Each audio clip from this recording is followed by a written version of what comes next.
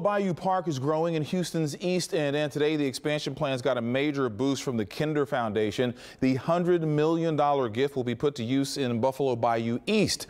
This is the area that starts around I-69 to the west and stretches just east of US 90 alternate. So what exactly does the donation mean for the Bayou and those neighborhoods surrounding it? We want to go now to KPRC2's Sabira Rayford, who joins us now live from the East End with those answers. Sabira. Keith, this is a massive 10 year, $310 million plan, and a big part of it is connecting downtown to the East End community.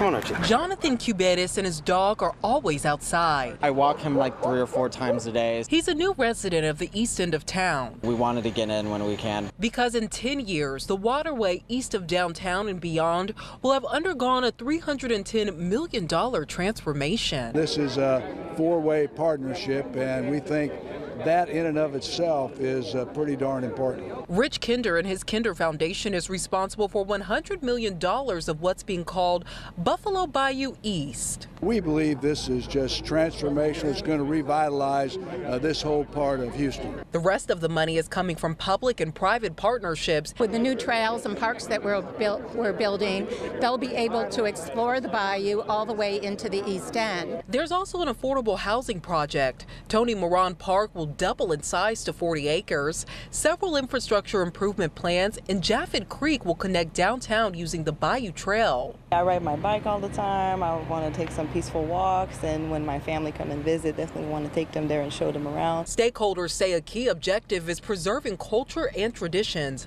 A 50,000 square foot warehouse on Navigation Boulevard will house the city's Hispanic History Research Center and archives.